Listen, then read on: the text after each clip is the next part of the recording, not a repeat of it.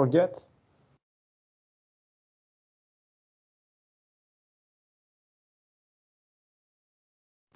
Cool. Uh, I think now everything is fine. Uh, so uh, you have the final uh, proposed project uh, topics uh, for natural language processing and statistical learning. and of course, you can also propose your, your own topics. Uh, and uh, you have uh, as deadline next week to choose a topic and uh, to, to propose your team. Uh, and also next week, uh, you need to present a short presentation, two, five minutes, which is a topic you have chosen, which is a team, and what you know up to the, that moment about the topic. Maybe why you chose a topic, do you know anything about it? It's like a way to, to make you uh, read at least a little bit uh, mm, uh, something related to, to your project topic and start working. Um, okay, so this is related to the projects and um, like to, to, your assignments. Uh, if you have any questions, like is everything okay until now? Questions, problems?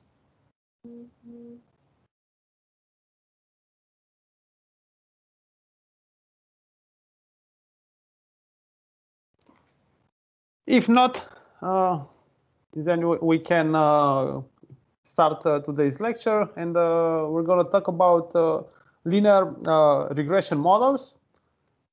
so we have already seen in the introduction to machine learning, let's say to statistical learning, what a linear regression model is. now we're going to extend it. so in the example, in the examples that we have used on polynomial curve fitting, uh, we have uh, defined uh, a simple linear regressor, regressor which was a function y of x and w, which was actually a linear combination of polynomial uh, functions. Yeah, like you can see here we have the polynomial functions. Here we have x power 0, x power 1, and so on up to x power m. Uh, so uh, this, this is a linear polynomial model. Uh, and we have seen that we can write it uh, uh, in, in, a simpler format, like being a sum from 0 to m out of weight j multiplied with x, power, x power j. and actually, we said w it's an array of weights, and uh, this is why we have it in bold. So actually W, we can write it like this, is W0, W1 up to the last one, WM. Uh, and uh, the, our objective was uh, given a set of training uh, points uh, or, or, a training set like the blue uh, points in, in, the figure to determine the best fit, the, the best linear polynomial fit uh, for the objective function. The objective function in our case was a green uh, sinusoidal function. Uh, in a, now we're going to extend the discussion. So it's not only linear regressor models. We're going to talk about linear models for regression. In general, if we have a linear model for regression, if we can write uh, the regressor function, so here we have the regressor function, uh, being as a linear combination of basis functions. So in our case, the basis functions for polynomial but we could have uh, more generic basis functions. So we have uh, m basis functions in this situation from 0 to m minus 1. And we have a linear combination uh, of uh, basis functions. So phi, uh, j uh, are called the basis functions. And you see, in general, x is not a scalar because x it's actually an array because we, we have like the features for uh, our training data. So uh, X in general is not a scalar as we have over here, where we have like a, a simple uh, uh one-dimensional uh, input. In general, we can have a k-dimensional input. So this is k-dimensional.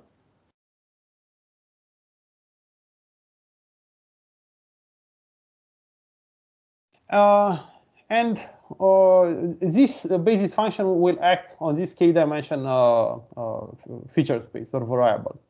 Uh, in the simplest way, like if we use like a linear linear basis functions, we could say that uh, we'll have a combination of all the uh, individual features, and we're going to have uh, something like phi d uh, of x would be like the value, the scalar value uh, xd in this array. So if x is an array, uh, we'll have uh, the this feature. But this is like in, in the simplest case when you hear about linear basis for regression. In the more general case, we could have any kind of basis function.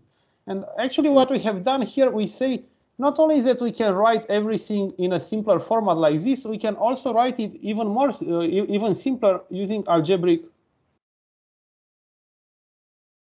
uh, notation or matric matricial notation. So uh, if uh, W is a column vector, we can write it as being W transposed multiplied with phi, where phi is uh, a vector of basis functions. So if W is a column vector, W transpose is going to be a line, a row vector. So it's going to be something like this multiplied with a row vector of basis functions. Phi 0 of x, phi 1 of x, phi 1 of x, and so on and so forth up to phi m minus 1 of x. Uh, so we can write it even simpler using this matricial or algebraic notation. Uh, and actually, this is the definition for a linear regression model. This is everything we have. And what we need to compute, we need to compute the best parameters, the best weights in order to fit our data. Uh, actually, this way of writing uh, a, a, model uh, uh in algebraic notation or in matricial notation, uh, you can do it the same for uh, neural networks, for example, because neural networks are still a multiplication, but it's a multiplication here instead of having an array vector, you're going to have a matrix uh, and you're going to get as output not a point, uh, but an output array.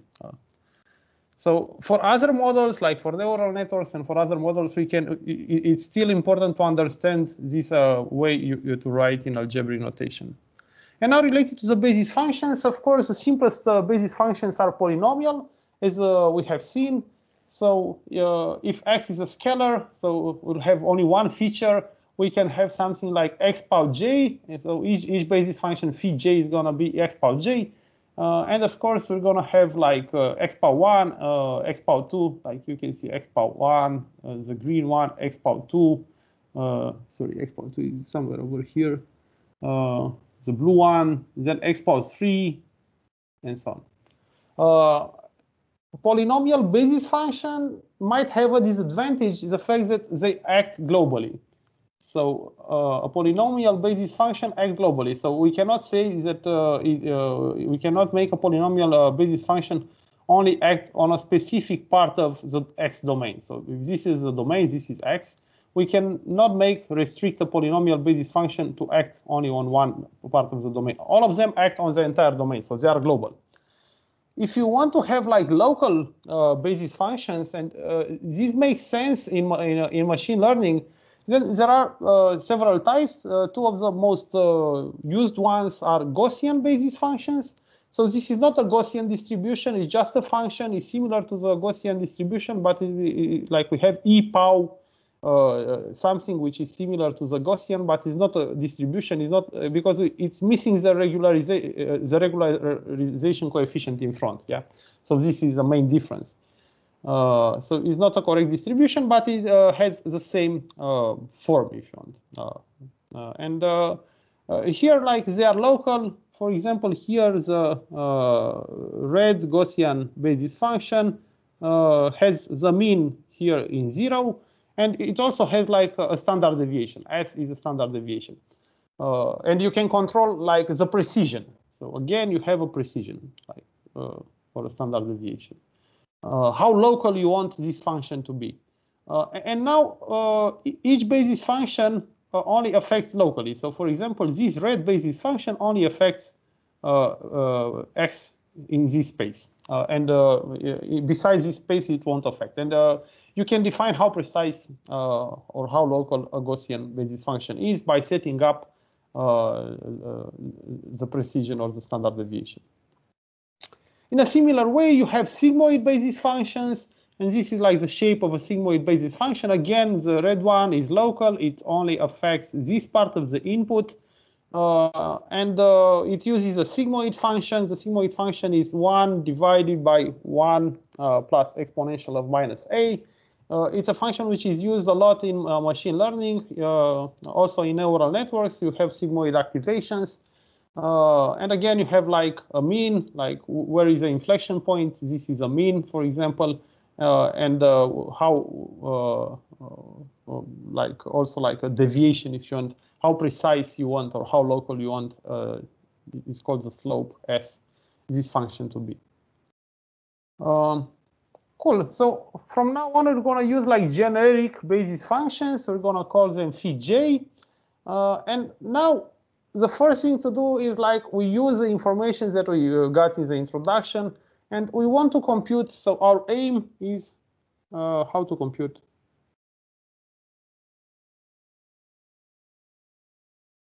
the best fit. W. So how to compute the best fit uh, or the best set of weights? Uh, and uh, you have seen that we have several alternatives. The simplest one is to use maximum likelihood, maximum likelihood treatment. Yeah, and uh, we have seen that in the maximum likelihood treatment, we say that uh, in machine learning, uh, each uh, target or each random variable is affected by a noise. And in the simplest case, uh, our noise is a Gaussian function. And now we're gonna we're gonna say, like the target is the value of the regressor. So right now we're gonna decompose the target into the actual value of the regressor function plus a noise. Uh, so right now epsilon is a noise, and this noise is Gaussian. So actually, the noise is Gaussian. It's a Gaussian, it's a normal distribution. So it's P of uh, epsilon divided by beta. So we have how precise is this noise? Like, do you allow a large noise or a, a, a, a narrow noise, a small noise? And it's a normal distribution. It's centered on zero because we don't have any bias. So uh, you, you, like here, the average will act as a bias, like it, it will shift uh, the, the noise up or down or the targets up or down.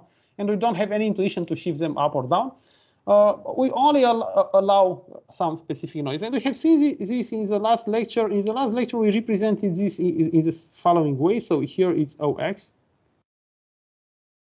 And we have said uh, that on the oh, y-axis, uh, on the target, if you want, y of or target, here instead of having a pointwise prediction, so instead of having y of x and w, we're gonna have right now, we're gonna have a distribution. So it's a distribution which look like this. Uh, and this is this is actually the distribution of the target. So it's the distribution of the target affected by the Gaussian noise. And the way to understand it, it's actually an overlap of two signals. The first signal is actually uh, the value uh, of the regressor function, uh, and the second one is this Gaussian noise. And what we have here depicted is a Gaussian noise. So of course here it would be the Gaussian noise, and the Gaussian noise is shifted by the uh, by the value of the uh, regressor function because otherwise the Gaussian noise would, would so the, the, the, Gaussian noise would always be uh, over here at zero, but it's shifted by the value of the regressor function. Yeah. So you have two functions which are additive: the noise and the value of the predictor. Uh, okay, but uh, when we sum up uh, the two functions, we're going to get the fact that the target right now for a specific point x, it's uh, now from the Gaussian distribution. So now when you add a constant value with a Gaussian distribution centered on zero, you're going to get the fact that we have a value from uh, a normal distribution. And the normal distribution is centered on the value of the, uh, of the predictor. Uh, and now you'll have like uh, beta, the precision, beta minus one, it's uh, the standard deviation now. Uh, and now uh, what we said in maximum likelihood, and this is what we usually have. So it's a regression task. In a regression task, we have uh, an, an, array of points, of points in the training set, x1 up to xn. This is a training set, and we have their corresponding targets. So actually here we say we have a training set of n points and we want to compute the likelihood function. So uh, the likelihood function, now we use the fact that all these points are, points are IID. So we use uh, IID treatment, which means they are independent, but they are from uh, the same distribution, so they are identically distributed. Therefore, if they are independent, here is a probability of the target. So it's a joint probability. We can write it like this if you want. It's probability of T1 joint with T2 up to the last one, Tn, given X, the weights, and the precision. So it's a joint probability, and we write it that it's actually a product of the individual probabilities. So it's a P of Ti given everything else, with i uh, going from 1 to n. So it's P of Ti, here we say it's P of, uh, instead of i, we, we, use n in the slides. Uh, so with n going to 1 up to upper n, uh, out of the probability of each individual target, each individual target it's from this Gaussian distribution. And actually what we want to compute right now are the parameters of the model. So the parameters of the model in our case is a set of weights and uh, the precision of the noise or how much noise we have in the training data. Uh, and uh, this is called maximum likelihood. So we have the likelihood function. We'd like to compute the uh, uh, its maximum. in order to compute its maximum, we have seen that actually we use maximum log likelihood. This is the actual treatment. So we compute the logarithm out of the joint probability. When we compute the logarithm of a product, we'll get a sum of logarithms. More than the fact that we get a sum of logarithms, we'll get the fact that right now the logarithm will act on uh, e power something minus x minus mu power 2 so on and so forth so we'll uh, so we'll act on on an exponential so logarithm of an exponential is perfect because the exponent goes uh, uh, drops down and uh, actually the uh, e power something fades away. so in the end, when we compute the log likelihood function, we're gonna get to the fact that the log likelihood function it's actually this. The log likelihood function, it's n divided by 2 logarithm of beta minus n divided by 2 logarithm of uh, 2p. Uh, this is from the normal, normalization coefficient uh, in front of uh, e power something. And then we're going to get the fact that is mean minus beta multiplied with the error in the data. So ED is the error in the data. And we, we define the fact that it's actually the sum of squares error you have.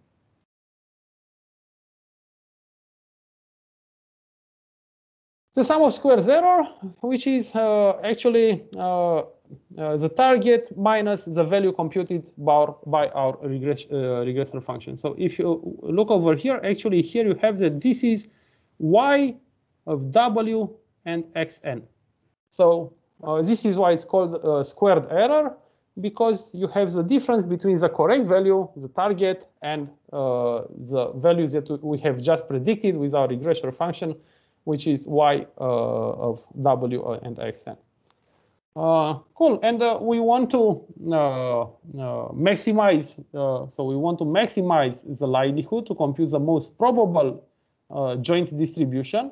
You see that over here we have a minus in front of the error, which means that if we want to maximize the likelihood, actually what we do, we actually want to minimize the sum of squares error. So the two are the same. So maximizing the likelihood is the same of minimizing the error uh, in the data. Uh, and now in order to compute, uh, uh first we need to compute, we have two parameters. So we first we compute the weights and then we compute uh, uh, beta, the, the precision of the noise. What we need to do, we need to go back to mathematics 101 and we need to compute the gradient with respect to each variable. Uh, so first the gradient or the derivative with respect to w, and then the gradient with respect to beta. And first we, we compute the derivative with respect to w of the log likelihood. Uh, and actually here you see is a quadratic function. So actually if it's a quadratic function, what happens? The two will go in front. So these two will go in front. It will fade away with the two that we have over there. And actually, we're going to have something like this. So it's going to be the same function, tn minus the weights multiplied with a uh, uh, with a basis function, with an array of basis function. Uh, and then we need to compute the derivative of this once more. So we need to compute against the derivative, and the derivative to this one more, it's actually uh, phi of, x, of uh, x of n transpose. So uh, because we actually need to compute the derivative of this function with respect with respect to w, and uh, it's we we only get this uh, uh, this array of basis functions. So this is what we get, and now when when we equalize this with zero, we get the fact that w maximum likelihood it's actually uh, computed by computing first uh, uh, the reverse of a matrix. so we need to compute this is a, a matrix uh, so it's not an array, it's bolded and uh, uppercase. So it's phi transpose multiplied with phi minus 1 multiplied with phi transpose multiplied with the array of targets. So again, we write it in a matricial or algebraic notation. Uh, and now phi, this is called the design matrix. And the actually the design matrix is uh, very important for um, uh, linear models of regression. It's actually a matrix that has a size n, n rows and m columns. Uh, and you, you have the value of all uh, the basis functions. So for each column, you have each basis function, the, the zero, like the first one, the second one, and so on, in all the points in the training set. So all the basis functions computed in all the points in the training set. Uh, and actually, this is everything you need to do. So if you want to, if you have ever used a linear model for regression, so if you want to predict like the prices for uh, real estate, uh, uh, uh everything you need, uh, you need to do is to compute this matrix, the design matrix, and then to to make use of uh, the reverse and uh, some matrix multiplications. Um, cool. Uh, which is a complexity?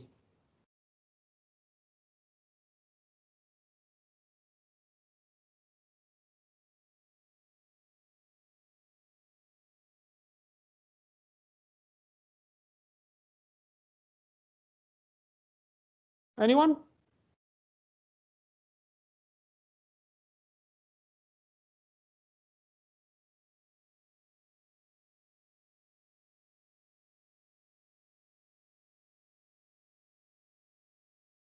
Nobody there? Which is a complexity? Like, uh, if we look at the complexity from an algorithmic point of view, yeah, because we need an algorithm. Actually, in order to compute uh, the weights, we need an algorithm. where does this complexity come from?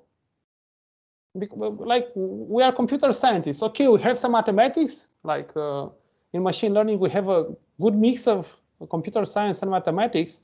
Uh, and um, yeah, everything that uh, goes in this mix. Uh, but in the end, we need to have an algorithm computing the linear regression weights, Uh, which is the complexity of this model, and uh, where does does this complexity come from?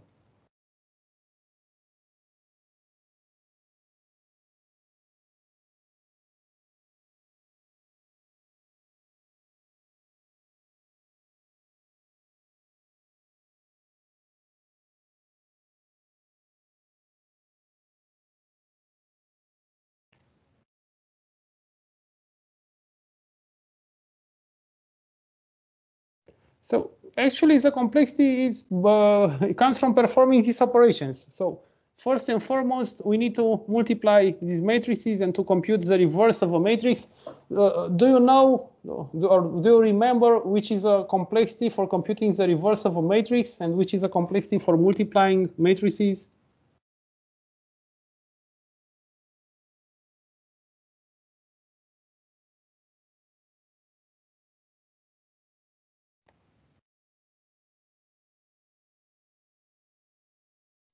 Well, I guess for multiplying matrices is uh, m or n. m multiplied with n. Um, for multiplying matrices, it's actually uh, uh, quad it's quadratic. It's like uh, uh, number of lines for the first matrix multiplied with number of columns for the first matrix, which is the same as number of lines for the second matrix, multiplied with number of columns for the second matrix. Uh, so it's actually quadratic. And uh, here it's, it's kind of the same. So the complexity over here would be, first we need to compute the reverse of a matrix, which is M multiplied with M. So it's phi transpose phi, which is M multiplied with M. So, and computing the reverse of a matrix, it's again quadratic. Uh, so uh, it's uh, m power 3. and then we have this matrix. So this matrix is M multiplied with M. Uh, is this one. We need to multiply it with a matrix which is M multiplied with uh, N. And here we get M power 2 multiplied with N. Uh, and actually, this would be the complexity. So it's theta of m power 3 plus m power 2 multiplied with n. So it's a pretty big complexity. Uh, therefore, you cannot compute uh, if you have a, a, a, large number of weights. So if you want to have a large number of, uh, of basis functions, you, you, cannot actually compute the regressor easily. You can just approximate it. Yeah. So if you want to have like m equal to 1,000 1000 power 3 uh, is going to be too much uh, on a normal computer. So it's important to understand, yeah, where is a bottleneck from a computational point of view. Um, cool. Uh, so the bottleneck is the fact that we need to multiply matrices to compute uh, the reverse of a matrix and so on. Uh, and uh, like if if we want to look at the bias, so the bias of a model usually it's like it's the parameter w0, and the parameter w0 is multiplied with uh, the uh, function uh, 1, like f of x it's always equal to 1, or phi of x it's equal to 1. if we look at which is the value for w0, the value for w0 it's actually the difference uh, between the average for the target, so the average over all the points in the training set of the targets, minus the value which is predicted by uh, uh, the average value which is predicted by our uh, model for all the other basis functions besides phi zero. So this is for phi zero. And this is a value that we get minus phi zero. So it would be like the value y uh, computed without phi zero, uh, without having any bias. So the bias is actually the difference between the correct value and the predictions as a scalar, if you want. Uh, and there is one thing we haven't computed. So we have computed, uh, this is called W maximum, maximum likelihood. So the weights computed using a maximum likelihood treatment. We still need to compute the precision. So how precise uh, uh or how much noise we should have, so how, how few noise or how much noise we should have. Here it's actually the standard deviation, if you want, is a variance. So it's one over precision is called variance. So uh, the variance is actually given by the variance we have uh, in, in our data. So it's given by, this is like the variance between the target and uh, the value of the predictor. Yeah. So if the predictor is very, uh, has a very good fit, so if this error is very small, it goes to zero, then beta uh, uh, will go to infinity. Like beta going to infinity, it means it will be very precise, like you won't have any noise. If this value is very large, like the error between the targets and the uh, predictor, then uh, uh, the precision will be very small. Like we won't trust uh, the value computed by regress regression regressor function. We will have lots of noise if you want. Uh, a, way to think about lin a linear regression model, like it's from a geometrical point of view, you have a discussion you can uh, read more carefully in Bishop. Uh, from my point of view, I think that this discussion is better explained in Murphy. So uh, you have about uh, one or two pages in Murphy, which are better explained. So actually what we, we say, we say that uh, we, we have an, the array Y which is uh, the array uh, of the predictions made uh, by all, all, the points in our training set. Yeah, and so actually, y here it's an array, and it's actually y1, y2, up to yn transpose.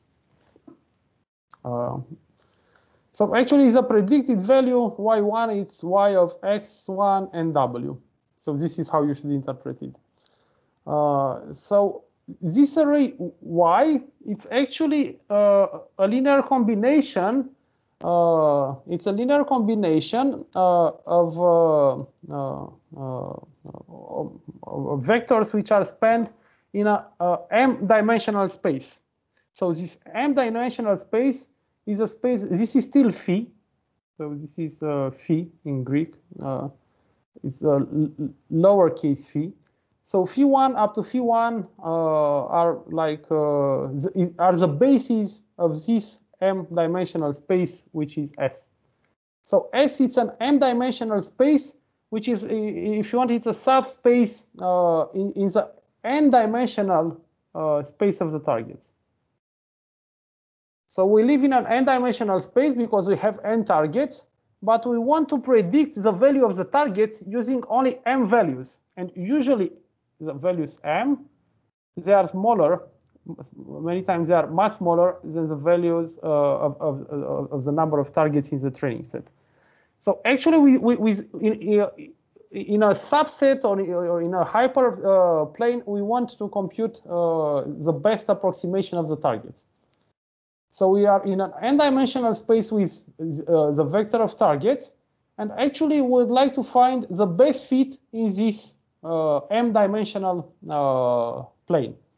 And actually the best fit, which is the best fit? What does this drawing suggest us?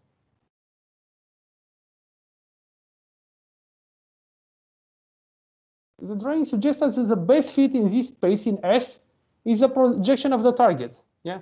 So uh, the targets are in a larger space. We cannot compute them perfectly, but the best thing that we can compute is to compute like the uh, orthogonal projection. So here is the orthogonal projection.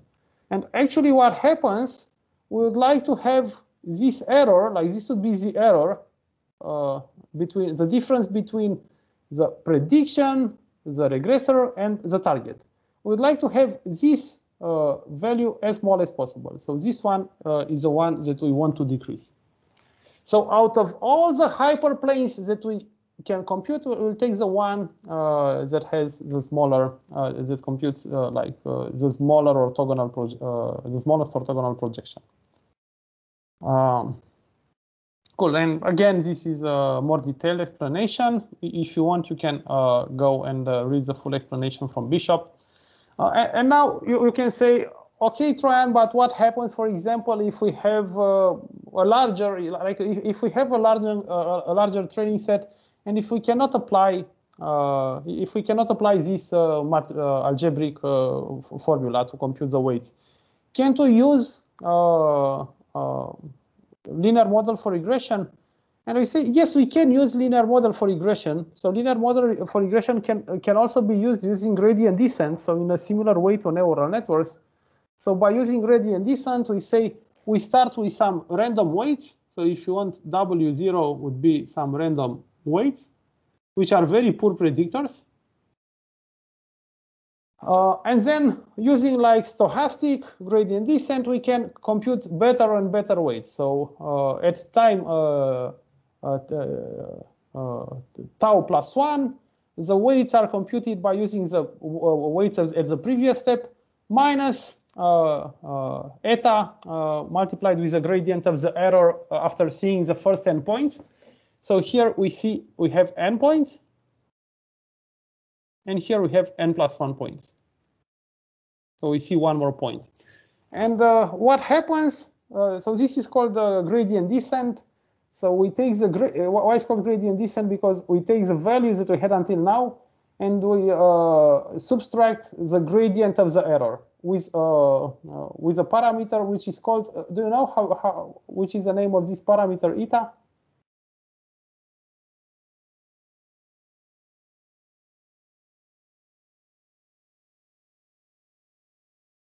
It's the learning, learning rate. rate. Yeah, exactly. It's the learning rate. So not only neural uh, networks use gradient descent, even these uh, like uh, linear models for regression can use uh, gradient descent. So it's a learning rate. So it's minus the learning rate uh, multiplied with the gradient of the current error uh, for n points. and the current error for n points you have already seen. So it's the quadra it's a sum of squares error.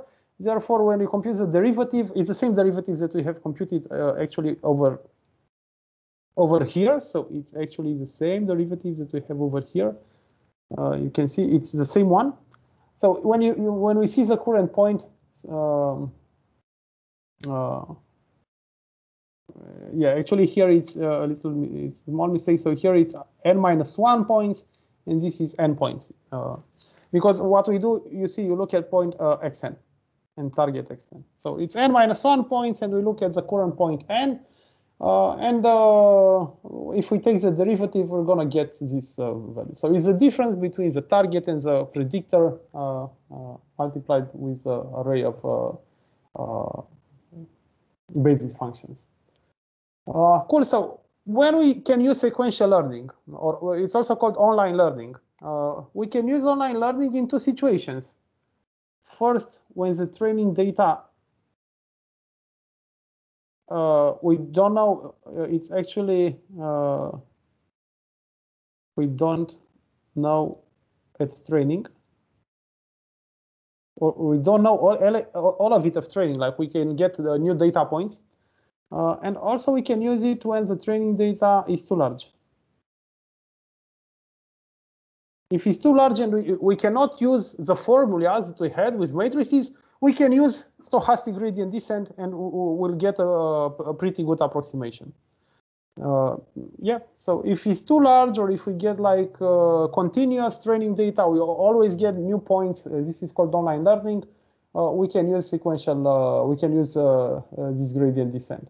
we still have a problem like how do we choose eta? It's the same problems that we have for neural networks. Usually eta should vary in time. So uh, uh, actually, usually eta should vary in time. Therefore, eta should be something like this. It shouldn't be a, a fixed parameter.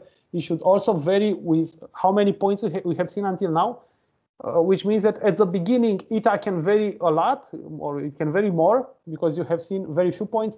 But as you have seen a large number of points, maybe 1 million, uh, probably the learning rate should decrease. Yeah, uh, and uh, if you have worked with neural networks for computer vision, you have uh, probably seen this uh, discussion. Uh, cool, and like this ends, like uh, the first part, we have about uh, four or five parts. Uh, the second part is you have already seen the maximum likelihood leads to biases, and we have seen one way of getting rid of, of, these biases that we get. And uh, the first way is like uh, using regularization. And uh, actually, the error function should be like error in data plus a regularization term. So the error in the data, the sum of squares that we have seen, plus uh, lambda multiplied with the error in the weights. This is uh, the, the, regularization part. Uh, and we have seen that in the introduction, there's an error in the weights. It's usually a quadratic re regularizer. and uh, it's W transpose multiplied with W. Or if you want, is norm uh, power 2 uh, yeah, of, of the weights. Uh, and this is what you want to uh, minimize. So this is the error, uh, the regularized, regularized error. And we want to minimize this error. Um, cool. And I think I made an error. I see said, said it over here. Uh, the complexity is quadratic. It's not quadratic. It's uh, m power 3. It's ter ternary. Yeah, uh, of course. Quadratic is uh, n power 2. Uh, and uh, so here uh, we have the, this n w power 2 error. and this is actually minimized in a similar way so we can still use uh, algebraic uh, notation. So what, what is different is different that uh, we're going to have here the fact that it's lambda multiplied with i plus uh, phi transpose multiplied with phi. And for this uh, matrix, we need to compute uh, the inverse. So from from a complexity point of view, from the an algorithm complexity point of view, using regularization doesn't change any, anything. So it's exactly the same. So using regularization or not using regularization, the time complexity for uh, your linear model for regression, it's exactly the same. Only this matrix is computed a little bit different. Uh, in our case, uh, lambda, it's a regularization coefficient, and now it's a hyperparameter of the model. So it's a hyperparameter. We still need to uh, find which is its best value. Uh, and uh, actually, regularizer, we, we can have more general regularizers or regularization functions. Uh, the quadratic ones that we have seen, uh, it's only one of the functions that it's used. In, in practice, uh, several others can be used. So uh, actually here what we say, it's uh, uh, norm Q. So this notation, it's like norm Q. and norm Q is defined, you can define it this way.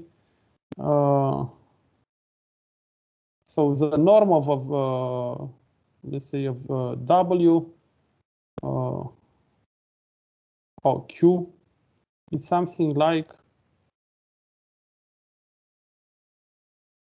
square root out of Q out of a sum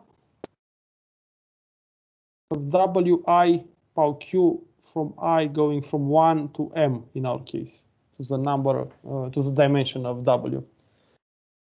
Uh, cool. So it's norm Q. Uh, uh, this is a Euclidean norm. So it's a norm, the usual norm that you are used to. So it's squared root out of sum of squared for each component.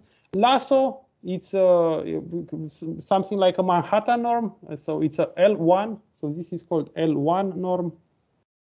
This is L2 norm and so on. Of course, you can have L.5, L4 norm and so on and so forth. So you can have several regularization functions. And actually, what does it mean? Why do we need several regularization functions? Uh, for example, when, if you want to use lasso, has anyone used lasso until now? Like uh, for L1 norm, this is called lasso. It's a specific regularization function.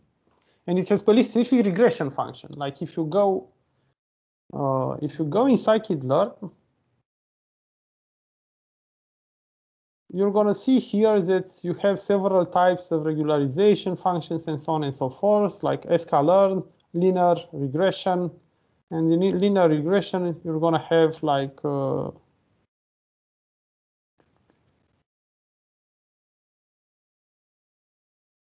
you have like lasso, ridge, and elastic net. And you see here Actually, Lasso, it's a linear model that has L1 regularization. This is uh, the, the only difference.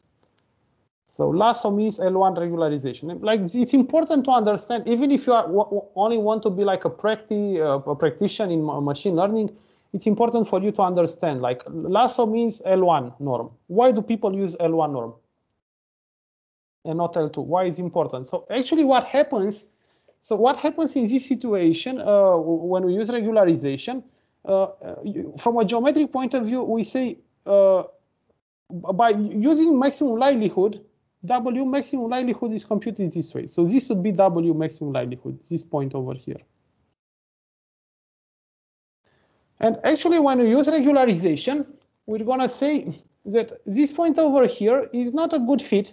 Actually, what we want to do, we would like to take the closest uh, value to this point, which is also intersect, uh, intersected with this uh, with this area.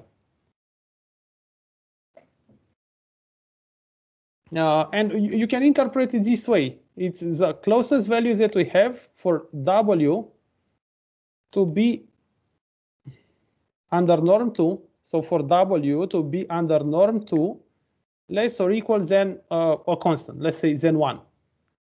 And this circle is uh, what it means for W to be less or equal than one. So if it's norm two, if it's two dimensional, it's a, it's a circle. If it's L1, if it's one dimensional, it's not a circle, it's actually a square like this. Yeah, so this is the lasso that we have uh, seen. And uh, actually we see, so regularization from a geometric point of view takes the closest, so this is W maximum likelihood, but we say this is not good because this is affected by, uh, uh this is affected by uh, overfitting.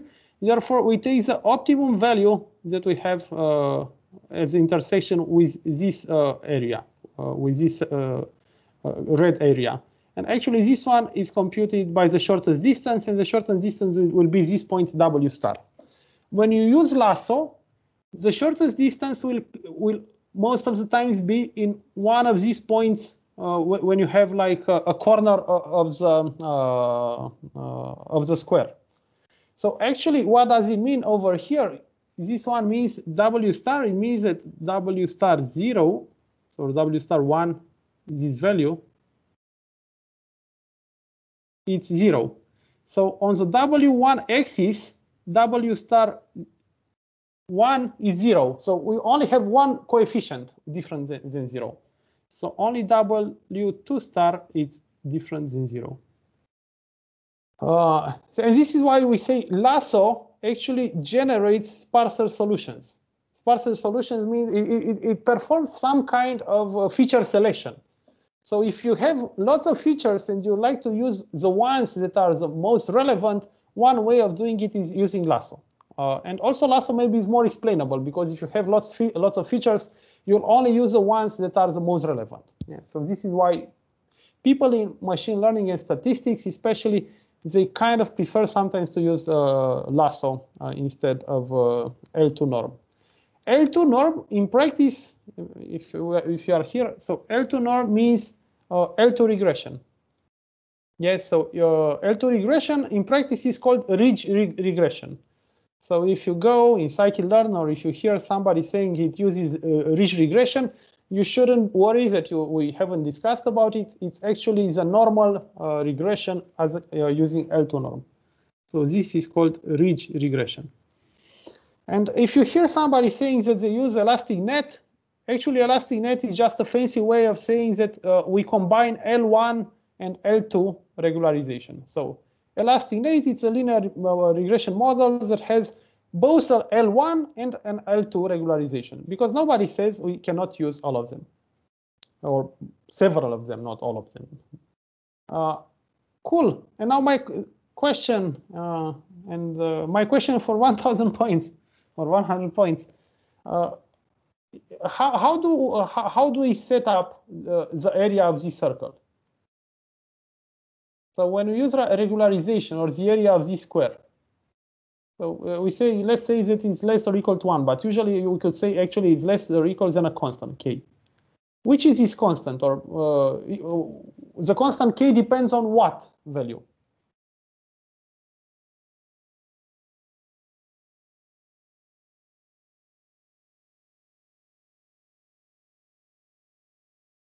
on the bias? No.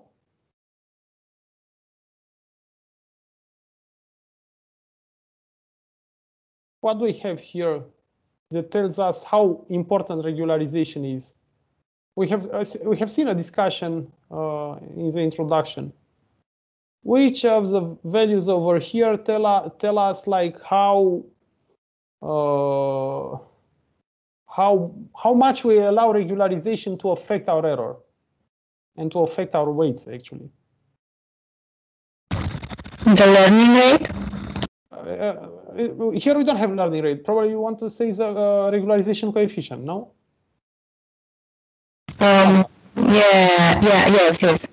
Okay, so it's actually the regularization coefficient. So actually, how large is this circle or this square is given, so it's a constant, but it's given by uh, something that depends on the regularization coefficient. So if we have a smaller regularization coefficient, then we allow, we allow a larger area. Uh, if we have a larger regularization coefficient, like if we are very strict, we, we add a big regularization, this circle is very, very small. Uh, yeah, uh, like remember what happened when we had a very large regularization coefficient. Actually, the value of the weights were all close to zero. the value of the, of the weights were all close to zero because this circle was here very close uh, uh, around and about uh, zero. It didn't allow a lot of uh, learning. Yeah. So actually, how big this red circle is, uh, and it's not a circle; it's a hypersphere, if you want, because we are not in a two-dimensional space. Actually, we are in an n-dimensional space, so it will be a n-dimensional sphere. Uh, it, it, depends on how big or how small the regularization coefficient is. Yeah. Uh, cool, and actually this kind of ends the second part of the class. So regularized uh, least squares solves the problems that we have with overfitting. Uh, as uh, lambda increases, uh, we're, we're, gonna have, so if lambda increases, then the circle will become smaller and smaller and an increasing number of parameters are driven to zero but this will probably go into underfitting. And we have some advantages of using regularization. We can uh, uh, have complex model and trained on limited data without worrying of overfitting, but we could still have underfitting. But we, st we still need to compute the value of the regularization coefficient. This is uh, the basic uh, way, idea. Uh, so it kind of limits the model complexity. We don't need to think about which is a number of basis functions, so we don't need to uh, think about which is the best value for m. So best m, we can uh, forget about computing it, but now we need to, we have another problem, which is the best value for lambda. Yeah. So it's kind of a trade-off. We don't need to compute the best value for m for the size of the model, but we need to compute the best value for lambda for the regularization coefficient. And now a very short discussion, like if we have multiple outputs. So imagine we have uh, several target vectors. So instead of having a target vector of size 1, we have a target vector of size k, larger than 1. So we have the same input data, but we have several predictors. For example, we could have like the features of an apartment, and we can have uh, like which is a probability uh, for that apartment to, to have a burglary, and we can also have the probability uh, like a, a score, uh, which is a, the, the value of the property. So we can have several targets for, for the same features. Uh, and one solution would be these targets are independent in most situations, or be, if they are dependent, well, probably we don't know exactly how they are dependent. One way is to treat them independently. So to compute k independent regression problems, uh, yeah, uh, and to uh, do it k times. And actually what we see here, we can uh, only do this once, so I'm going to go a little bit faster so we can, uh, so in a similar way to having only a single input, T, we can have several, uh, uh, we could have like key uh, uh, sorry, instead of having only one target, we can have key targets. And now in a similar way here, uh, we're going to have a set of targets. And now the targets are K, so and they are independent. And actually what we say over here, actually we can compute in a, only one matricial step. So actually this part is the same that we had until now. The only difference is that at the end, instead of multiplying with an array of targets, we multiplied uh, with, a matrix of targets because now uh, instead of having uh, an array of targets like n and 1, here we have a matrix of targets n and k because we have k different uh, targets like the price, and uh, which is uh, the criminality rate for that property. and actually, if we look for a single target, it's the same way of computing independently for the target. But actually, wh wh why is why is it more efficient to do it like this? Like, why does it make why, why doesn't it make sense to compute individually each set of weights WK like this?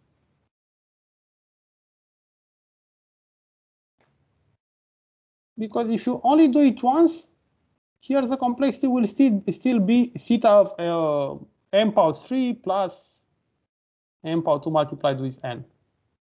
If you do it k times, the complexity will increase by k. It will be k multiplied with m power 3 plus k multiplied with m power 2 multiplied with n. And the complexity uh, of having a polynomial of m power 3, it's uh, kind of big from the beginning. If you do it k, k times, if you put there k and k is uh, big, uh, it will uh, it will increase the complexity. And actually, it doesn't make sense because you're going to compute the same matricial operation. So here you're going to do these operations k times, but they're going to be the same. Like it doesn't make sense from the compute point of view. Uh, even if you can do it, it will take uh, k times more uh, Amazon uh, Elastic Compute credits if you want, or GPU time or CPU time in this case. Uh, and uh, it, it doesn't make sense. You can do it more efficiently.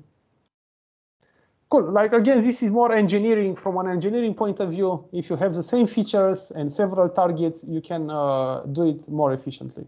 You can just compute uh, these algebraic notations only one, once. Perfect. And now we get to the third part of the class. In the third part of the class, we look at something called uh, the bias variance decomposition. Uh, so in the bias variance decomposition, like we have a transition going from uh, like, like, this uh, part is uh, uh, fundamenting, if you want, the transition from maximum likelihood to the Bayesian treatment. Uh, it kind of uh, sets a point of why it's important to have Bayesian Bayesian treatment. So the bias variance decomposition look, looks at what does it mean to have overfitting or underfitting in our models. Uh, and uh, this actually starts on like which is the best model for our data. Uh, and we have two options. If we don't use regularization, we need to compute the best value for m, uh, like for the parameters, the number of parameters of the model, the size of the model. If it, m is too large, we're gonna go to overfitting. If m is too small, we will have underfitting. If we use regularization, the same will uh, apply for uh, the regularization coefficient lambda. Yeah, like if lambda is too large, uh, then we're gonna have underfitting Islam that is too small, then uh, is like not ha having regularization at all. We're gonna have uh, overfitting. Uh, and a solution would be to use Bayesian treatment of regression because overfitting is an effect of maximum likelihood. So when we're going to go to the next part, we're going to see that uh, actually Bayesian model for regression uh, doesn't have this problem. But before that, let's take a look from a frequentionist point of view of model complexity. And this is called bias variance trade-off. And uh, if you remember from uh, last uh, week's course, uh, discussion with Costin, I think he also handed you uh, a scan with uh, why this formula is correct. So the expected square loss in our data, it's in our data and model, it's always like the uh, errors that we have from the predictor to the correct function. So this is a predictor function y that we compute. X is the real function that we should compute. Uh, and this is the error that we have from the noise. So this is a difference between the correct function and the target. So the co correct function and the target, this is a noise. Yeah. Uh, uh, uh this explains why the targets are different from the correct uh, uh, from the target function. And the optimal predictor would be the expected value of the target. And the second term, actually, we cannot remove it. So if we want to minimize the error, if we want to minimize this error, all we can do is to minimize this, uh, this part of the square loss. Uh, and now, um, we'll say if we have like an infinity amount of training points and a lot of computational resources to train on an infinite amount of training points or a very large amount, then we could uh, make y as close as possible to h, which would be great. But uh, in real life, we have only a small number of training po points. Therefore, we cannot compute h of x perfectly. So we, we will always have an error between the regressor function and the uh, target function. Uh, and now, this is called frequentionist point of view because we, we take the following thought experiment. Let's imagine we have several data sets, each of the same size n. This is like it's a frequentionist because we assume we have several data points, like we have several, and we can count if you want, we can count, we can compute the expectation on all these data sets.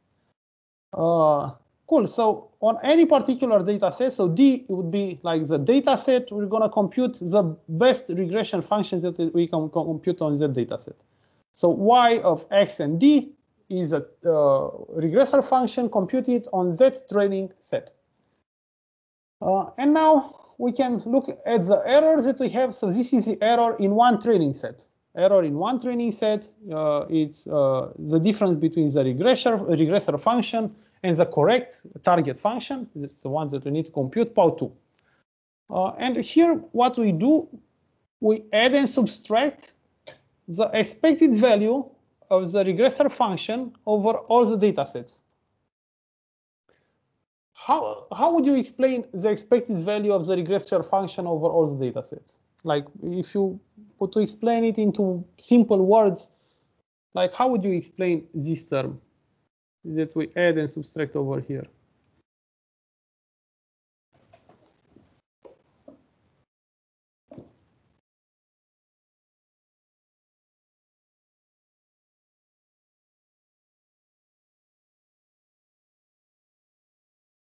What's an expectation in a simplest way of saying it? Like uh, an expectation is given a distribution, but if the, the distribution is, uh, let's say, uniform, what's the expectation actually?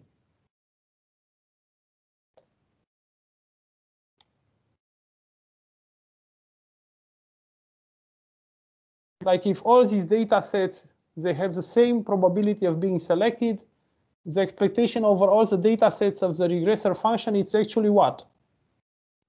The average would be. Yeah, it would be the average. So here what we say is the expectation is all the data sets are uh, have the same probability, actually we're going to say uh, we're going to take the average uh, of all these uh, functions. Like if you want, and you're going to say what's the average function, you could think of having the average on each point x. Like on each point x, if it's discrete x, or even if it's continuous, we can compute the average. So we have, like, let's say, three data sets. We have uh, for each value of, the, of x uh, 10 points, and we compute the average. And we can do it even if it's discrete or continuous. Like this for you to have an idea what this term is. And we add and subtract this average. So here we have like the current regress regressor, regressor function, the best ones that we compute for the current data set and we subtract the average function, the average regressor function, we add it again, yeah, and we uh, the last term is minus the target function that we need to compute. Uh, and now what we do, we actually put, uh, we're going to say it's a binomial, it's a binomial out of this term and this term, yeah, and uh, it's a plus b power 2, and it's going to be, it's a power 2, so the first term of the binomial, y minus the expectation power 2, plus the second b power 2, the expectation minus h uh, of x power 2, plus 2 times a multiplied with b. So this is a, and this is b, this is a power 2, this is b power 2, and this is 2 times a multiplied with b. And now what we are doing, we actually would like to see what happens. Uh, so we, this is an error in one data set, but actually what we are interested in it's a frequentionist point of view, would like to see which is the average error in all the, uh, the data sets. Yeah. So this is what we do. It takes the expected uh, loss over all the data sets. So if this is a loss in one data set, we take the expected loss over all the data sets. And when we take the expected loss over all the data sets, something interesting happens. For example, over here, only this part depends on D. So this doesn't depend on D because we also have a, we already have an expectation. This doesn't depend on D because it's already uh, expectation over the all the domains. This is a function which doesn't depend on the domains, and only this function depends on the domains.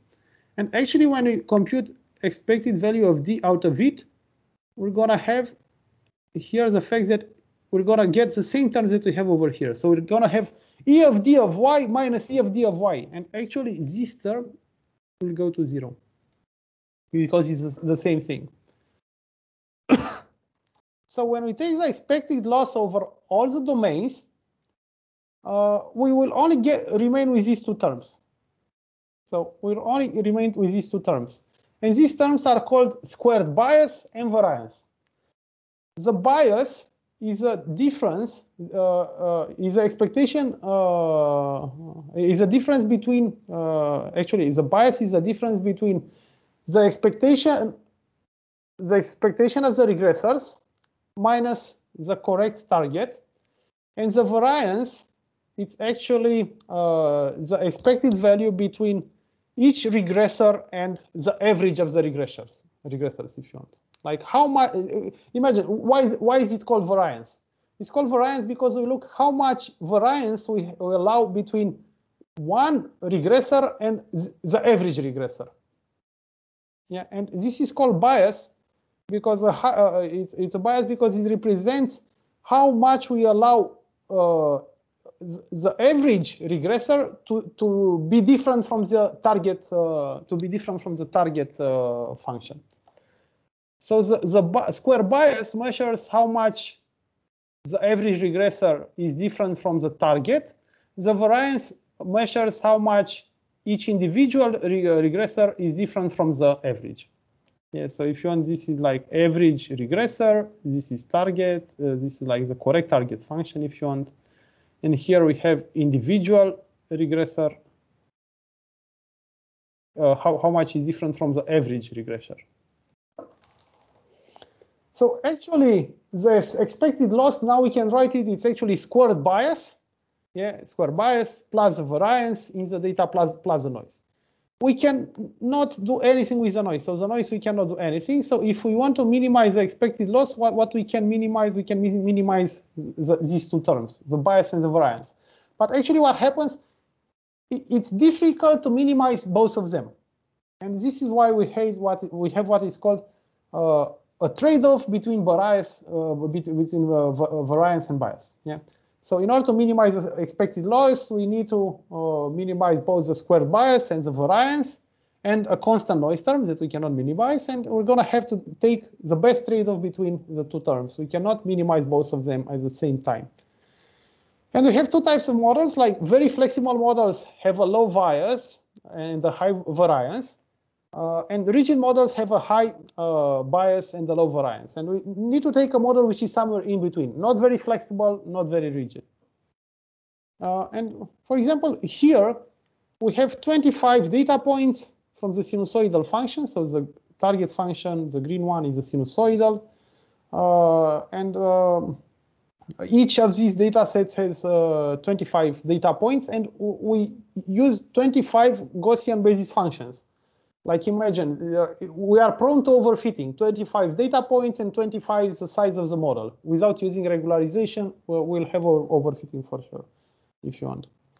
Uh, and uh, actually, here you you are you have the values of each individual regressor. Regressor. So here are 25 red functions, and this is the average regressor in, in red. Average regressor or if you want, is the expected value over d out of y of x and d.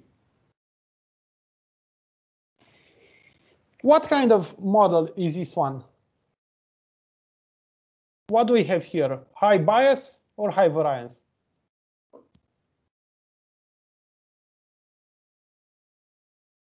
So the variance is the difference between any of these functions or all of these functions and uh, the average one do we have a big difference between these functions and this one?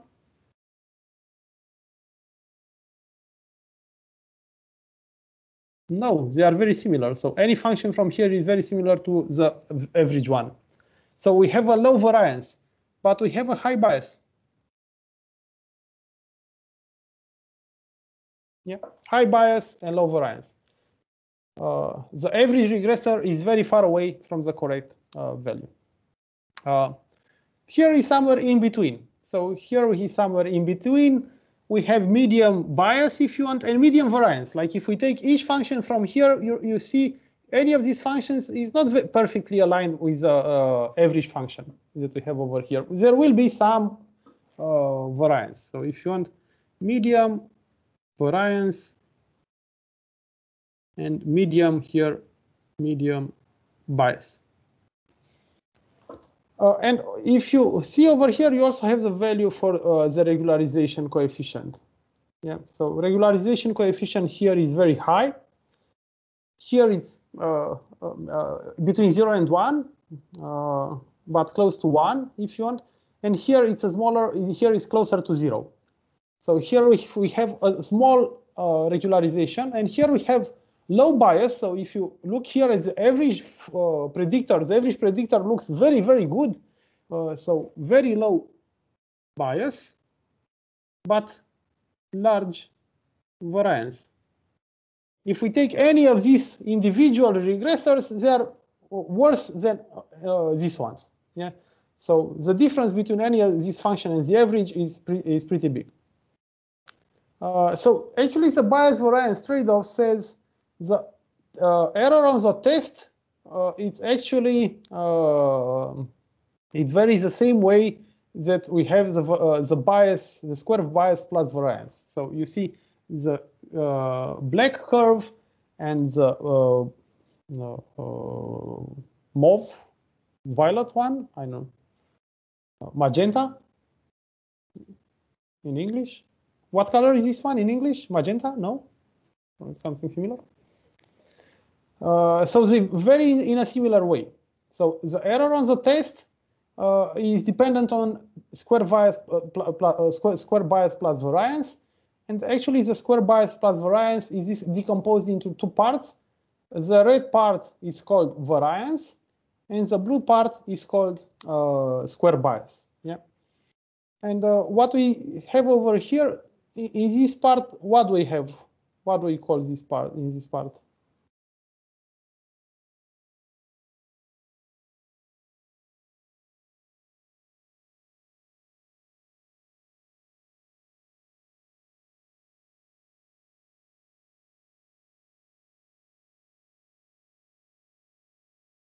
What do we have to the left?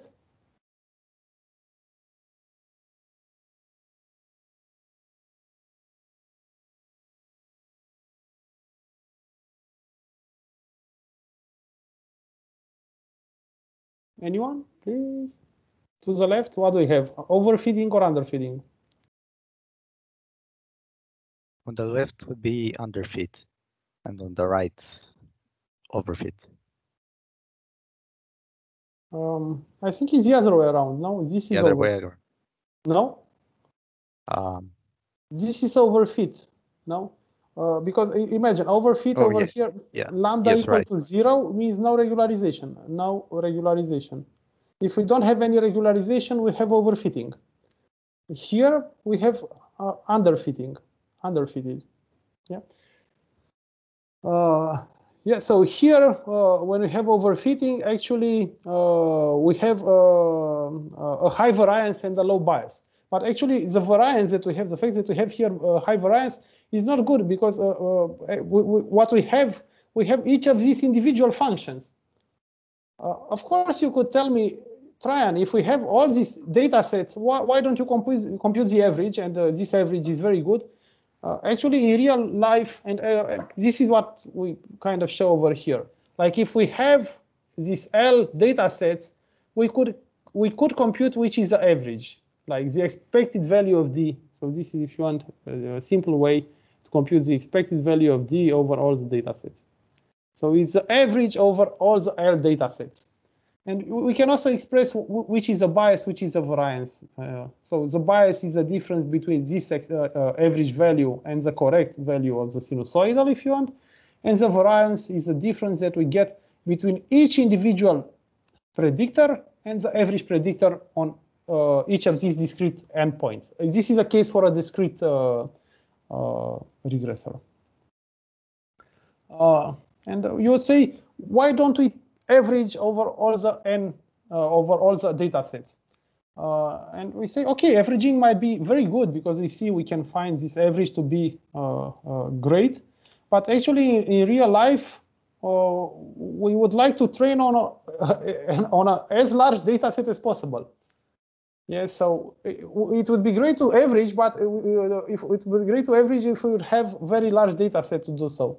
But in real life, uh, we have smaller the small data set, and if we uh, split it into 25 uh, smaller data sets, we're going to have uh, uh, very poor predictors, uh, and it doesn't make sense to, to use this. Uh. so this is more like a, a thought experiment.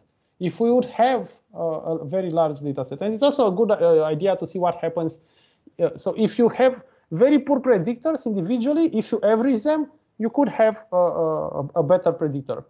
Uh, do you know how, how this is called in real life? Like if you average the predictions, you have a better predictor. Like this is useful in practice sometimes.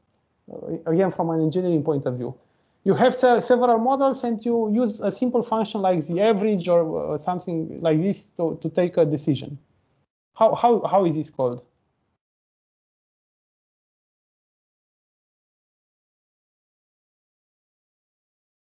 But you- boosting.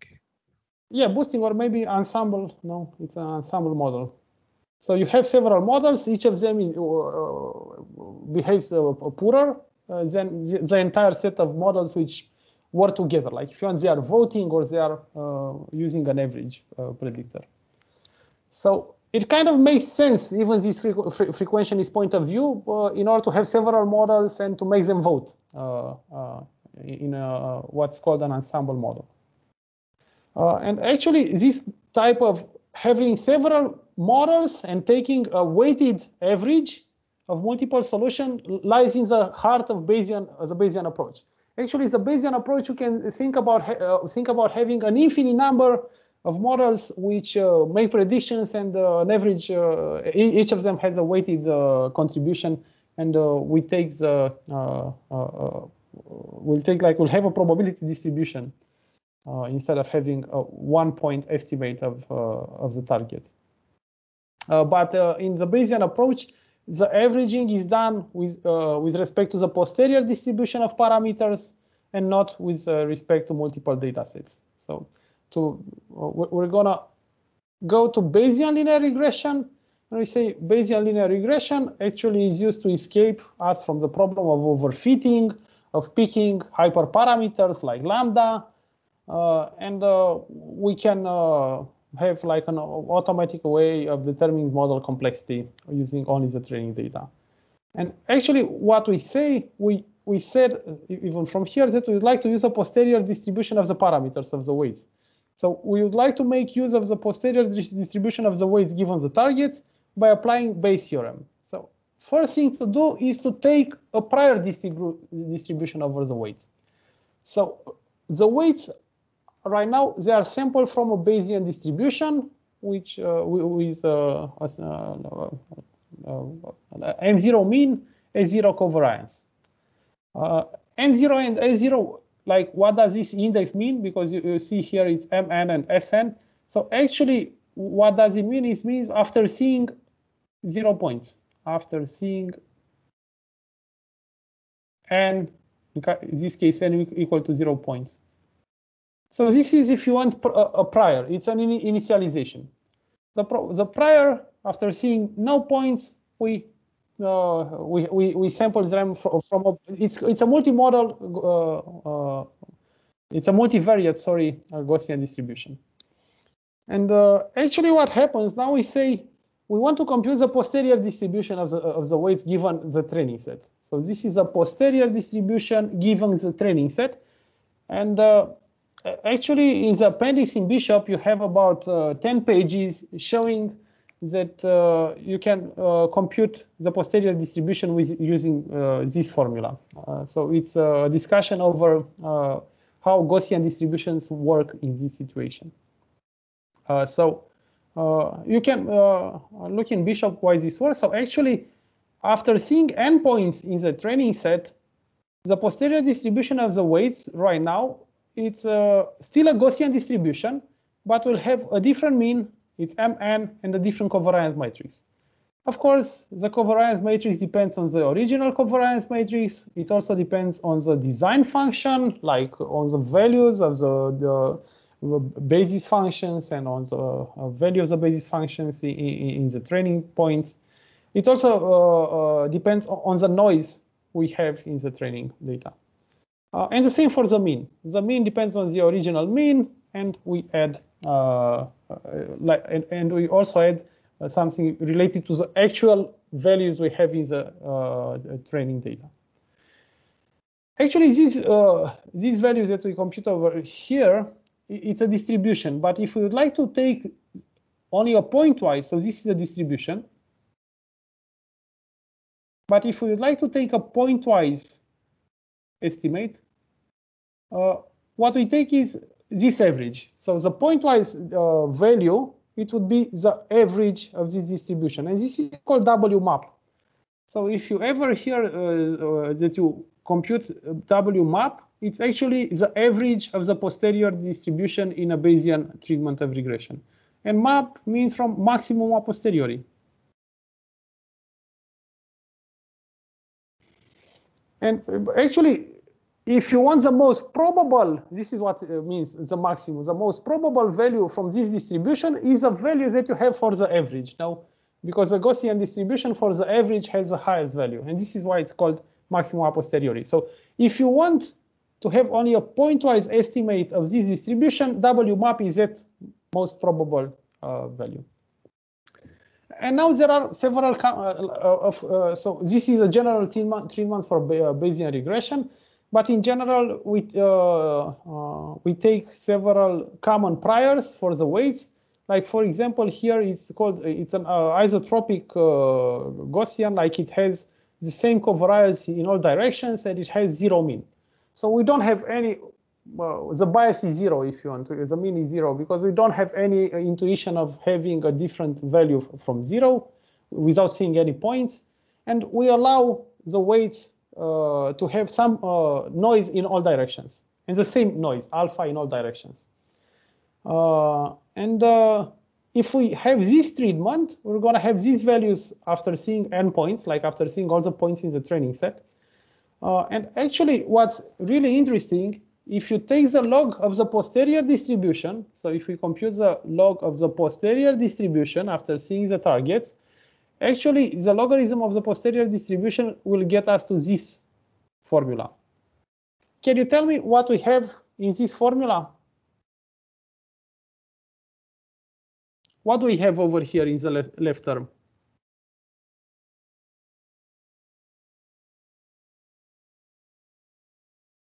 It's a sum of squares error. So actually, if we take this common choice for the prior, uh, here in the le left term, we have the error in the data. Here in the right term, we have the error in the weights. So actually, and then we have some constant terms. So if we want to maximize this log likelihood, and these are with minus, both of them, we actually is the same as mi uh, minimizing the regular, regularized error.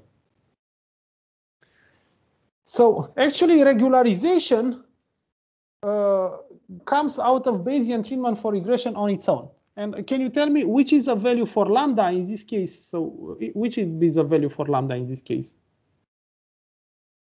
from this formula.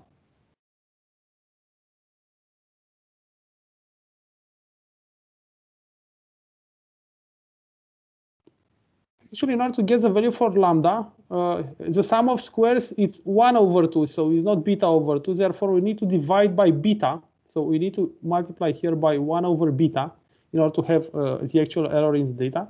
And here we get alpha over beta. So actually, lambda in the simple Bayesian treatment, it's actually the ratio between the noise we allow for the weights and the noise we allow for, uh, for, for the targets, yeah, because beta is the noise in the targets. Uh, cool. And again, if you are if you only want to be practitioners in machine learning, so you are not interested into uh, understanding the theory, you still need to understand uh, what a linear model for regression here, because here you have you have maximum likelihood or least squares. So maximum likelihood is the same as least squares if you go in scikit-learn. And then you have ridge regression. Yeah, you also have something related to classification. Then you have lasso. And at some point, you're going to have, uh, again, you have multitask. So several tasks we have already seen. ElasticNet that we have uh, looked at. Uh, uh, and you go, you get going, and there are some, and then you have Bayesian regression. And in Bayesian regression, this is called exactly what we have over here is called Bayesian ridge regression. You see, the prior over the weights has a, uh, the mean in zero, and it's isotropic in all directions. And here the isotropy is, is actually given by uh, lambda. Uh, it, it has the same name as the regularization coefficient. So you have Bayesian ridge and Bayesian ridge is actually Bayesian regression that we discussed right now implemented in scikit-learn. And now let's see why Bayesian regression is nice. So first of all, Bayesian regression is nice because uh, actually this posterior distribution can be computed in an online fashion after each data point. So you can compute it after zero data points, then after one data point, two data points, and so on. And now uh, we're going to take a simpler example. So we have a straight line fitting uh, with linear basis function model. Uh, and uh, actually, we have several points uh, taken from a line in a two-dimensional space. Uh, and we'd like to compute which are the parameters of the line of a line. So you know a line y it's actually we have two parameters w1 x plus uh, w2 if you want, or if you want a x plus b, and we want to compute which are the values a and b. And actually, uh, these are uh, w1 and w0. And these are this is how uh, the prior looks like. So this is an isotropic prior. So this is the prior distribution over W. The prior distribution over W given alpha looks like this. And it's a Gaussian centered on zero, as you see, uh, with noise alpha uh, with noise alpha power minus with variance alpha power minus one minus one. Uh, and of course, you can imagine this is a heat map. So this is the most probable for value in the center, the reddest. The bluest is close to zero, so very improbable to sample from there. Uh, and here are uh, some uh, some uh, points that we sample from this space. So actually, we sample all lines uh, kind of with the same distribution, or, or especially the ones that are here in the center. So we don't, don't know any information when we see zero data points. These lines are very different. And now what happens, we see one data point. So we are given this one data point. So after having, uh, being given this uh, data point, what we can what we can compute, we can compute P of W giving given this only one point, one target, T1.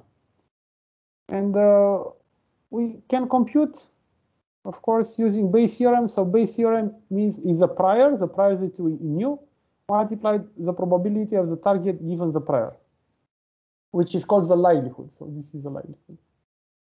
And you see, like we have the likelihood, and we have um, now the posterior distribution. So we we multiply this prior with this likelihood, and we get this posterior distribution, which is still a Gaussian distribution. It's a two-dimensional Gaussian distribution the average is here. Now uh, the covariance matrix has shifted the axis, uh, and uh, we get to something like this. and now when we sample lines, so when we sample the lines from this space, from this Gaussian distribution, you see these lines are pretty cool from one point of view. In the vicinity of the points that we have seen, these lines have a small error. As we go farther away here, the error is pretty uh, is pretty large. Uh, and actually, we can uh, compute which is the point that we have, uh, which is the, the, lines that we want to compute. The lines that we want to compute is this one. Uh, is you can see it's a, a, white cross. So actually, the line we want to compute would be something like W0 W1 is dot 5 and W0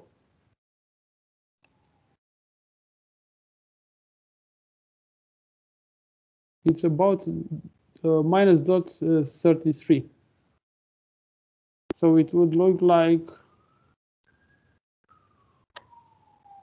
0 0.5x minus dot 33.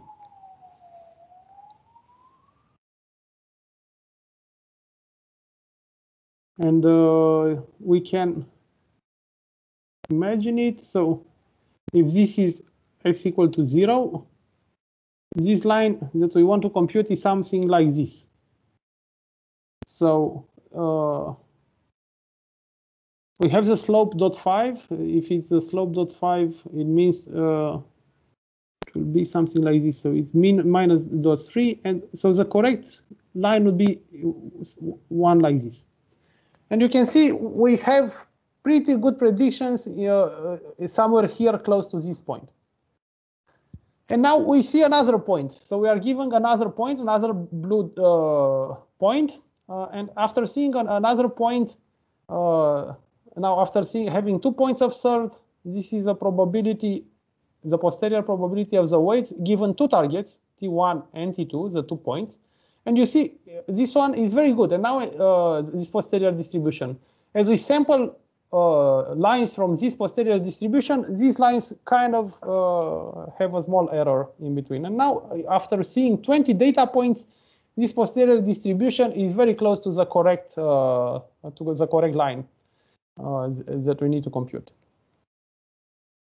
Okay, so this is the way like Bayesian treatment works. So now in Bayesian treatment, we don't know which is a, uh, only one value for the weights. We have a distribution over the weights. We can sample from this distribution, and by sampling from this distribution, we can get an infinite number of, uh, of predictor functions. If we only want the best predictor, the best predictor is W map.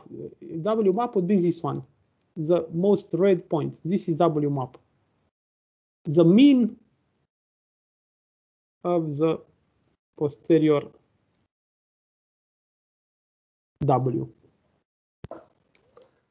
Uh, cool. Uh, I hope this makes sense uh, and you see why like Bayesian regression is nice. But actually, this is uh, this looks more uh, at uh, W as a weight. But actually, what we really want to compute in regression is a predictive distribution. So we don't want the posterior values for the weights for their own. We want the posterior values for the weights. This is a posterior uh, distribution for the weights because we can compute the predictive distribution. Predictive distribution mean, means the probability of a new target. So this is the probability of a new target given uh, the training set, given a new point x, of course, you need a new point x, and given alpha and beta as the parameters of the model. And again, using the appendix from Bishop, uh, uh, this is called like conjugate prior. When you, when you multiply this distribution of the target, which is a Gaussian, with its uh, conjugate prior, which is another Gaussian, the uh, posterior distribution of the weights, you'll get a, a, a, new Gaussian.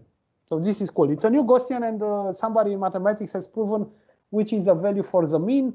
So actually, the mean is mn transpose multiplied with phi transpose, and we also uh, know which is the standard uh, deviation. The standard deviation is like this. Uh, and actually, uh, here is kind of where we stop with the Bayesian treatment, but I would like some remarks.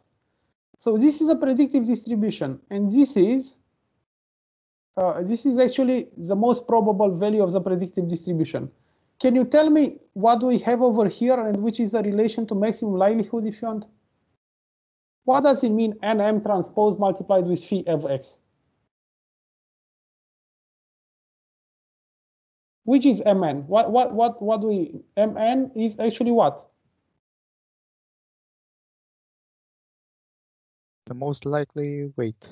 Is maximum a posteriori, no, for W. So it's actually uh, W map transpose multiplied with phi of x.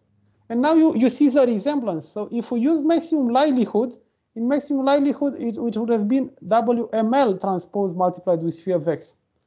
So now the most probable prediction, because this is what it means the average, the most pr probable prediction is W map transpose multiplied with phi of x, which kind of makes makes sense. So instead of using, so in the formula for, for maximum likelihood, now we have W map. So it's exactly the same formula. It kind of like we kind of close the circle. Yeah.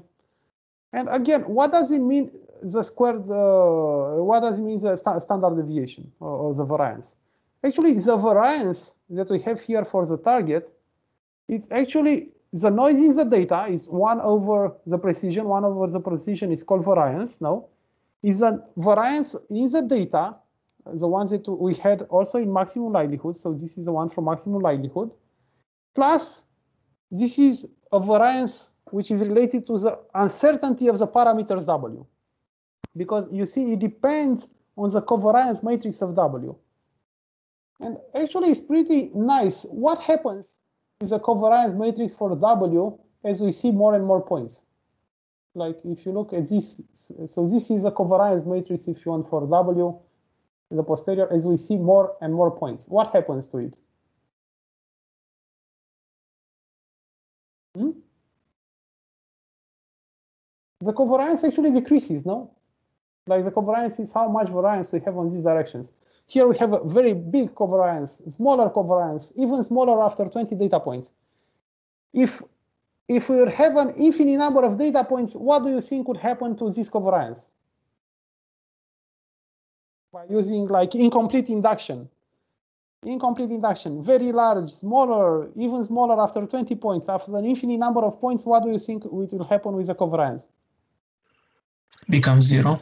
It will become zero, yes. So if we will have an infinite number of points, the second term goes to zero, and the only noise is the noise that we have is the data, and uh, is the one that we cannot minimize. Is the noise in the data you have seen from, from expected loss. We can uh, expected loss. We cannot minimize this noise. Cool. And again, uh, let's look on the uh, Bayesian curve fitting for the sinusoidal function to see what happens. So we only get one point, this point. If after seeing only one point, this is a predictive distribution. Not very good, kind of bad. And uh, in pink, we have, what do we have in pink? So in red, we have the, uh, in, in red, we have EFT and W map, if you want. Or, w, uh, or if you want, is W map multiplied with phi of x in red. What do we have in pink?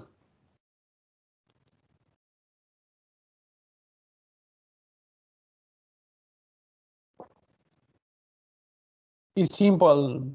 Anyone, please, in order to go forward and finish the class. In pink is uh, plus minus one standard deviation for each point x because you see now for each point x, the standard deviation won't be the same for each point x. The standard deviation will depend on each point x. So uh, it's similar to, to this. If you see one point over here, the standard deviation will be smaller. So in vicinity of these points that we have seen, the standard deviation is smaller. Yeah. The same over here. We have seen a point here. Here, the Bayesian model kind of learns something. It learns to make predictions close to it. Here, when we haven't seen any point, the standard deviation is very large. Yeah. Here are samples samples from this uh, predictive distribution.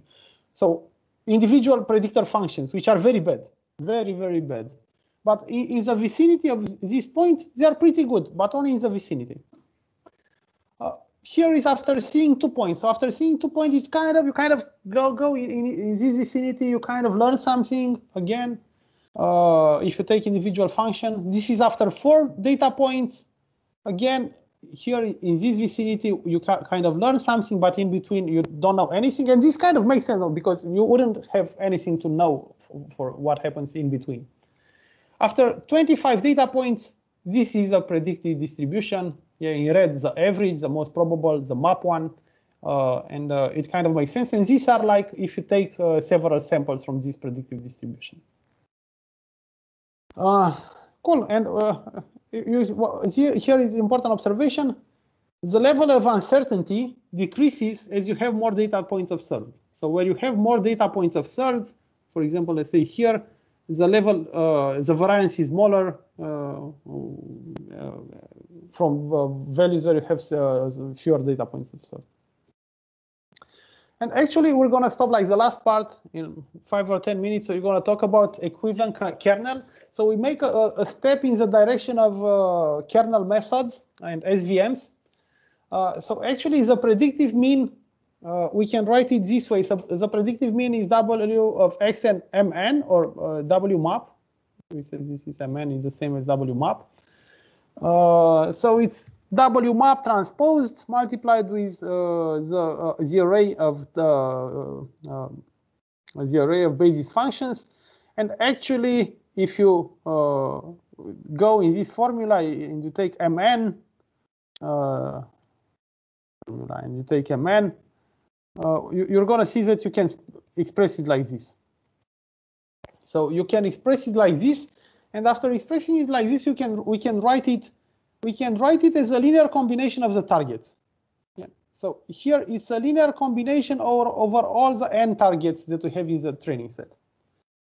Uh, and this linear combination is given by something which is called equivalent or smoother, uh, equivalent kernel or smoother matrix. So this function k, it's called a kernel, equivalent kernel function. And uh, actually what we say, we say that one alternative way uh, of looking at a regression is to uh, take a linear combination of the targets. So for each new point, each new point is actually a linear combination of the targets. Uh, and it's a linear weighted combination, and it's important to understand which are the weights. The weights are given by a kernel, and actually the kernel function, this is a function, a kernel function for a polynomial kernel. Uh, it uh, actually is, it has a larger value when the value of x is equal to the value of the second parameter. Yeah. So when xj, so here when we have the same parameter, it's the largest value. This is what we what, what we want to say. Otherwise, it's kind of a similarity function. Uh, it can be smaller than zero, so here it can go smaller than zero, so it's not uh, uh, a similarity should be always higher than zero. Uh, so it's similar to a similarity function. It's very high if the two parameters are the same. Uh, and uh, as the two parameters go farther and farther away, the value is close to zero, but it can also be negative. Cool. So this is called the equi equivalent kernel. And actually, equivalent kernels looks kind of looks the same for different basis functions. So for a polynomial basis function, it looks like this. For a sigmoid basis function, it looks like this. So they kind of looks the same. Uh, and uh, this is called, so it's a kernel function because we can write this function as a kernel. And we're going to see what a kernel means. A kernel actually means a dot product in, in a given space. And here we say it's actually a dot product or a covariance in the space of the features. So we, we can express it as being uh, uh, the covariance between phi of x transpose multiplied with w and w transpose multiplied with phi of x prime, the other point. Yeah. And this covariance is actually beta minus 1 multiplied with a kernel function. Uh, and actually how you should interpret this equivalent kernel. Actually, this equivalent, equivalent kernel, you, you, you should interpret it. So for each point, we can make a prediction based on similar points in the training set. And each of these targets is taken into account uh, with a specific value. Which are the points which are taken into account with a larger weight? The ones that are closest to x. So if a point in the target in, in the training set is close to the new point x, then the value of the kernel would be high. If a point is far away uh, is far away from the new point x uh, x that we need to make uh, the prediction, then the value of the kernel is uh, is close to zero. So if you want, it's kind of an interpol interpolation or, or, or an average between the value of the targets which are the most the closest to to, to, to the point x for which we want to make a prediction we, we, you can think of this uh, like a kind of k nearest neighbor, yeah. But you don't take the k nearest neighbor. You take all the uh, points, and each point we're gonna have a contribution depending on how close it is or how similar the kernel uh, function is to that point in the training set. So it's a k nearest neighbor uh, where you don't use like an average, and uh, you take all the points, not only uh, the best k points. Uh, cool. And like this is called an equivalent kernel because it's a kernel function. A kernel function is actually a dot product in a given space.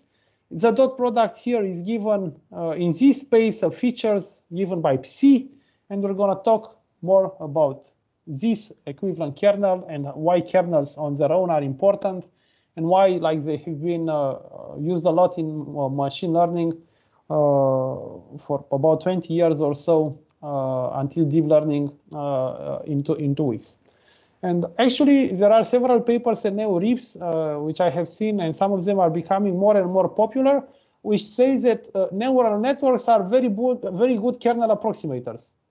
So actually, what deep learning models do, they compute these kernel functions uh, um, very efficiently. Like, if somebody would be able to understand which is a equivalent kernel computed by a neural model, you could compute it more efficiently because you wouldn't need to train the model. You, you would just have a mathematical function which uh, uh, pre presumably it's simple to compute, like it wouldn't take uh, an exponential uh, time to compute.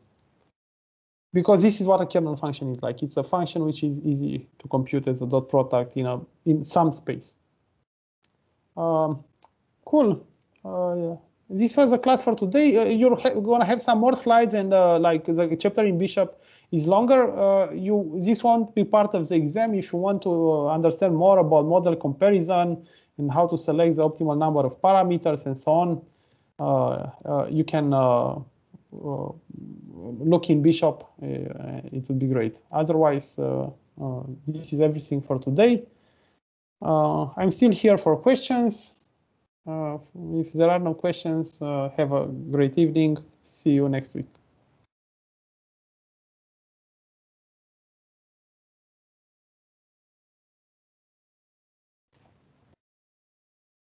Thank you very much. Have a good day. Bye bye. Bye bye. Thank you. Bye bye. Bye bye. Thank you. Bye all.